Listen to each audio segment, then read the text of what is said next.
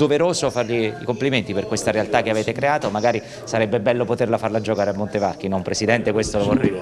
Noi vorremmo giocare a Montevarchi, speriamo di giocarci presto, ma purtroppo le cose burocratiche sono così. Quanto manca? Ci sono delle buone novità, delle buone notizie, però al momento siamo in attesa. Speriamo che siano rispettati i tempi. È stata una bellissima partita, soprattutto nel primo tempo, poi il pescare è venuto fuori alla distanza, ma il primo tempo è stato molto bello, gradevole e intenso, d'accordo? Questo eh, mi fa molto piacere che emittenti come la vostra eh, gratifichino la nostra prestazione. Io dico però che Pescara obiettivamente ha un altro tasso qualitativo, eh, fatto di giocatori, tecnico di alto livello però noi abbiamo fatto quello che dovevamo fare alla fine e, e, e, suona come una doccia fredda, anche se riconosco che il secondo tempo il Pescara ha fatto decisamente molto di più, quantomeno sotto il, il profilo del, del predominio tattico ter, territoriale.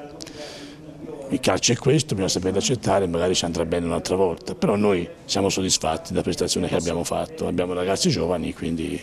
Mi dice la cosa che le è piaciuta di più del Pescara?